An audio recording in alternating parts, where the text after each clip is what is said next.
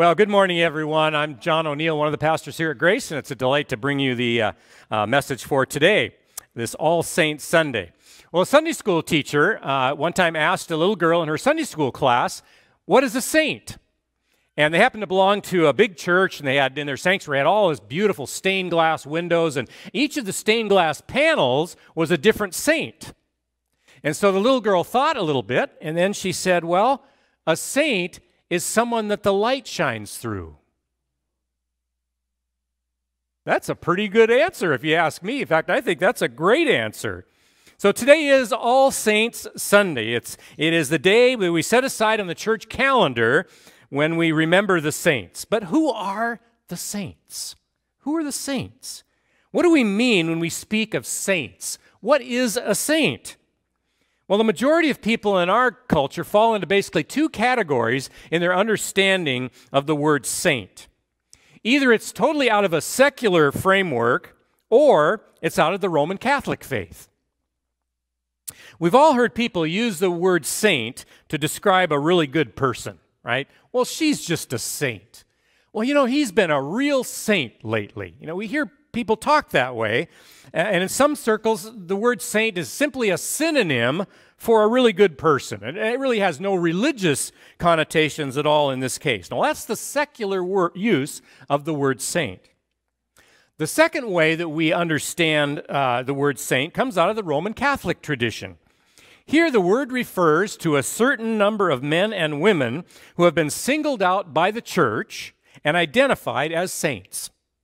St. Christopher, St. Patrick, St. Nicholas, St. Jude, those are the, some, of, more, some of the more well known of these popular chosen few. Now, I'm not going to say more about the secular use of the word saint. That, that, to me, is just a misunderstanding of what a saint is. That's a misuse of the term. However, I do want to at least begin with the Roman Catholic understanding of the saints and then kind of move out from there. So, how do Roman Catholics understand saints? Well, I ran across a little book in my library entitled What Catholics Believe. Every Lutheran needs a copy of that book. Okay, What Catholics Believe. Well, in the chapter on saints, the author described the formal practice for recognizing men and women whose lives gave special testimony to the grace of God. This process is called canonization. Okay? Now, what are the requirements to be canonized as a saint in the Roman Catholic Church? Well, the first requirement is that the person must be dead. I know that's not very encouraging for some of you that would like to be saints, but that's the first requirement, okay? You have to be dead. The second, the prospective saint's writings are carefully studied by a special committee at the Vatican, in addition to hearing the testimony of living witnesses who can vouch for the holiness of this particular person. The committee also looks for special signs of God's favor toward the person in the form of wonders worked during his or her lifetime. And finally, there must be at least three verifiable miracles attributed to this person as a result of the person being prayed to uh, by someone. Okay? Now, here, by the way, is one place where Protestants and Roman Catholics differ in regard to their understanding of saints. Protestants do not pray to saints we understand that we have direct access to God through Jesus Christ and in His name, and therefore there is no reason to have to go through saints. We don't need the middleman, so to speak. Well, when all these requirements are met, then the person is officially recognized as a saint and given a day on which his or her life of faith is celebrated. Now, in medieval times, every aspect of life came under the protection of saints. Just about everything you can think of. You may remember from last Sunday that Martin Luther cried out to St. Anne when he was frightened by a thunderstorm, right? Well, he cried out to St. Anne because St. Anne was the patron saint of miners, and Luther's father was a miner, so that was kind of their family patron saint. Sailors and fishermen addressed prayers to St. Nicholas. St. Geneva cured fever. St. Blaise was known to relieve toothache. Did you know that?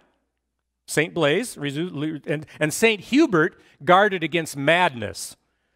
I figured that, that St. Hubert was the patron saint of pastors who teach confirmation. okay, and so when all else fails, you pray to St. Jude because St. Jude is the saint of last resort. Yeah, true, true. Each season of the year came under the protection of certain saints, and each church came under the guardianship of a saint and took on his or her name. There were more than 25,000 saints venerated in the Middle Ages, and much of it, to be real honest, boiled down pretty much to superstition. Well, that's not so much the case today, but it certainly was during the Middle Ages. Well, how do we as Lutherans, how do Lutherans understand these special saints? Do we, do we recognize them at all? Well, we do recognize these men and women of faith in a special way. And, and, uh, and the, uh, we, we, we certainly celebrate All Saints Sunday in the life of the church, right? Like we are doing today. Now, our church does approve of giving honor to the saints. And this honor is really threefold. There's kind of three ways we do that. Uh, the first is thanksgiving, okay? we should give thanks to God that God chooses to give his gifts to the church and that there are, there are faithful men and women who use these gifts to further the work of Jesus Christ in our world.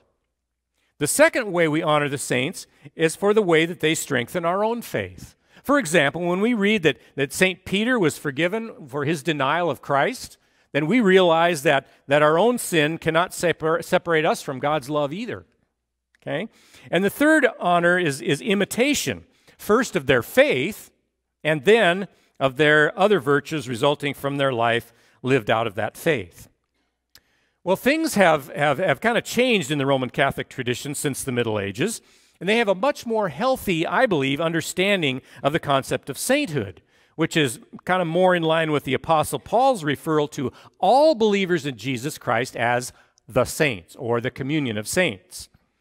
In that same little book about what Catholics believe, I found this, this, the following statement, which I think is really a good statement. It says this By far, the most important qualification for sainthood is in the everyday living out of the teachings of Jesus Christ. Pretty simple statement, pretty clear. I like it. So, who were some of these more famous saints? And were they always holy and righteous? I mean, was this, was this always the way they were? Well, no. They were ordinary people, just like, just like you and me, sinners to whom Christ came into their life. And for some of them, their early lives were anything but virtuous. For example, St. Augustine, the great St. Augustine, he carried out a, uh, an affair, long affair, and fathered a child, even though he wasn't married. St. Ignatius of Loyola, founder of the Jesuits, he started out as a bloodthirsty soldier. He was a nasty guy. And St. Francis, St. Francis of Assisi, he spent his adolescence in drinking and partying. These people did not become saints in the true sense of the word because of their own works and virtues, but rather because they received Jesus Christ into their life. They received the light of Christ. And a saint can truly be defined as one through whom the light of Jesus Christ shines through. Very simply, the word saint means holy or blessed, which brings us to the gospel lesson for All Saints Sunday. I want to concentrate on the first of these Beatitudes, since this is the key to understanding what it is to be a saint. Blessed are the poor in spirit, for theirs is the kingdom of heaven. First, let me give a couple of general comments about the Beatitudes. When Jesus first preached the Sermon on the Mount, he didn't speak them, these words of the Beatitudes, in, in English or even Spanish. He didn't even speak them in Greek. Jesus spoke them in his own native language, which is Aramaic, a kind of a dialect of Hebrew, sort of common Hebrew, as it were. Now, we do lose a little in the translation from spoken Aramaic to written Greek and then translated into English. The Hebrew word, which is often translated blessed or blessed, in the, especially in the Psalms, is an exclamation. Okay, it's an exclamation. You can always put an exclamation point behind it. And so the Beatitudes are not simple statements, they are exclamations, often translated, Oh, the blessedness of. Okay? Oh, the blessedness of, of, uh, uh, of, of being a Christian, of living in Christ. And this is not referring to some future event at the end of time. It's the blessedness which exists in the here and now. It's not something into which the Christian will enter at some point in time, it is something to which he or she has already entered into. So the Beatitudes are actually saying, oh, the bliss of being a Christian, what joy there is in following Christ, or the sheer ecstasy of knowing Jesus Christ as my Master, my Lord, and my Savior. The very form of the Beatitudes is, is a testimony of the great joy and the gladness of living the Christian life. It's, it's, that it's, it's an exclamation. So if the word saint means holy or blessed, then a saint is one who has received the blessedness from God and lives in the fullness of joy, knowing he or she has received that blessedness. But what does it mean to be poor in spirit? That's an interesting phrase. What does it mean to be poor in spirit? Now, how can we be filled with such blessedness if we are poor in spirit? I mean, doesn't being counted among the saints means that we are filled with the Spirit and spiritually rich? Isn't that what that means? The word used for poor here describes absolute and abject poverty. It means to be completely poverty stricken, to be destitute and totally void of resources. The Hebrew or Aramaic word for poor went through a four stage development in meaning. The word began by meaning simply poor. It went on to mean because poor, because poor, therefore having no influence, no power, no help, and no prestige. The word went on to mean because having no influence, therefore downtrodden and oppressed by humanity. And finally, the word for poor came to describe the one who, because he has no earthly resources whatsoever, puts his or her whole trust in God. That's, that's the development of this word poor or poor in spirit. So, as Jesus spoke these words in his own native language, he would have been referring to the humble and helpless one who puts his or her whole trust in God. To be poor in spirit, therefore, means to recognize that without the Spirit of the living Christ, we are all spiritually bankrupt.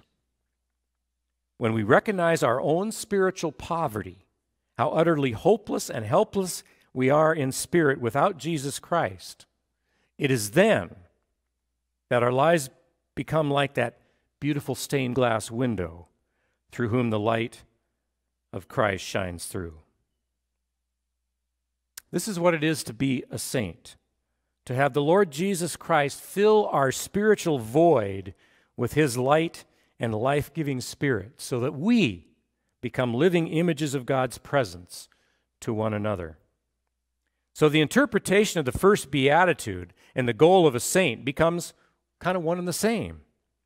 One commentator put it like this this is kind of an expansion of that first beatitude. I kind of like it. He says, Oh, the bliss of the person who has realized his or her own utter helplessness and who has put his or her whole trust in God, for thus alone he or she can render to God that perfect obedience which will make him or her a citizen of the kingdom of heaven. Today we celebrate all saints, whether they be from Grace Lutheran Church or St. Philomena Catholic Church, whether they be from Des Moines or Federal Way or Kent or Seattle or Uganda or Haiti. We celebrate those through whom the light of Jesus Christ has shined. Amen. Thanks for watching. I hope this video can further the discussion of your relationship with Christ, either at home or maybe in the comments below.